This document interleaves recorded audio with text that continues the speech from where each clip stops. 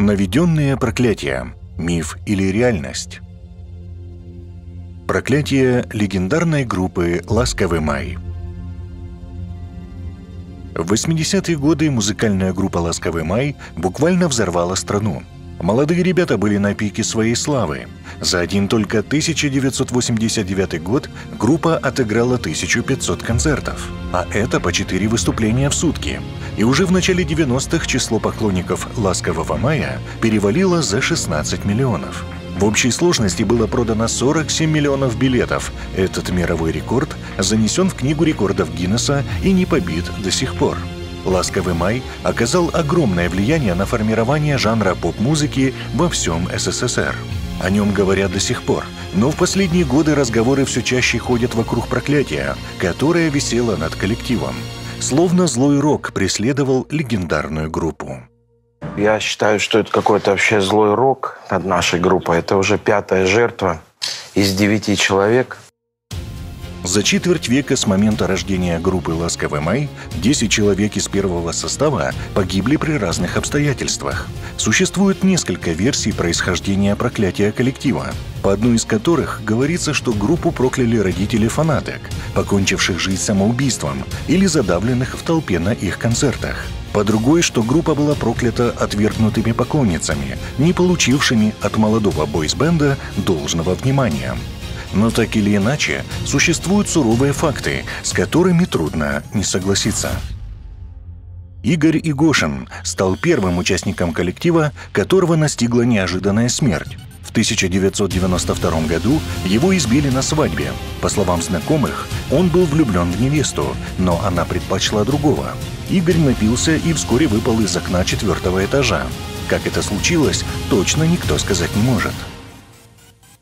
Миша Сухомлинов был тусовщиком, мечтал стать артистом.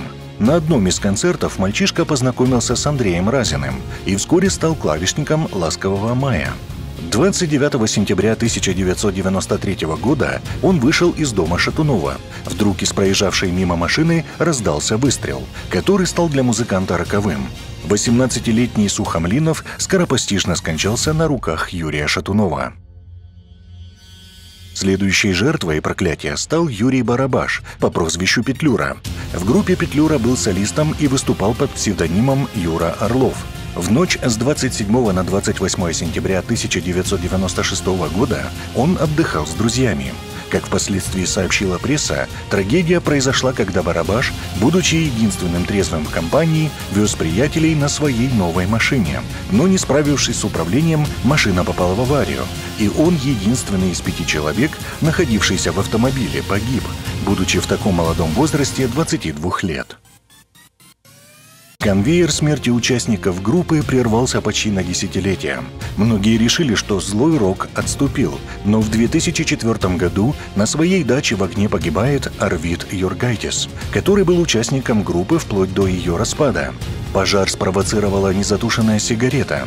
Музыкант начал спасать вещи из горящего дома, и когда схватился за ламповый телевизор, тот взорвался у него в руках. Клавишнику «Ласкового мая» было всего 34 года. Вслед за этим несчастьем вскоре последовала новая трагедия. На 38-м году жизни от запущенного туберкулеза умирает бас-гитарист и один из основателей «Ласкового мая» Вячеслав Пономарев. Поистине жутким для участников группы оказался 2012 год. 2 июня в 38-летнем возрасте из жизни ушел еще один клавишник «Ласкового мая» – Алексей Бурда, который сделал неоценимый вклад в развитие поп-коллектива – Позже он сам занялся продюсированием. Он руководил столичным продюсерским центром Star Media, организовывал концерты Андрея Губина, Димы Маликова, Димы Билана, а также таких групп, как «Машина времени», «Иванушка Интернешнл» и «Отпетые мошенники». Его тело нашли ранним утром недалеко от кладбища на севере Москвы. Сначала причиной смерти называли отравление неизвестным веществом, потом выдвинули другую версию – сильнейшая алкогольная интоксикация. Страшную судьбу участников группы «Ласковый май» также разделил Юрий Гуров, который был одним из основных солистов группы. Он погиб 25 августа 2012 года в страшной аварии. Ранним утром на автодороге Ростов-Ставрополь машина, в которой Юрий сидел на пассажирском сидении, выскочила на встречную полосу и столкнулась с МАЗом. От удара их автомобиль отбросило под другой грузовик. Бывший солист «Ласкового мая» и его друг погибли на месте конце февраля 2013 года в деревне под Звенигородом от руки пьяного соседа гибнет 40-летний Игорь Анисимов, клавишник самого первого состава группы. Получив 8 ножевых ранений, Игорь стал восьмой по счету жертвой в трагичной цепочке. Музыканту было всего 39 лет. Смерть музыканта спровоцировала обширный инфаркт у Рашида Дайрабаева, первого директора проекта. Продюсер Вики Цыгановой, Игоря Саруханова и Николая Баскова впал в кому и через неделю скончался. Следом за ними накануне своего 50-летия из жизни ушел Евгений Закулаев, который спустя долгие годы руководил Центром для одаренных детей-сирот «Ласковый май».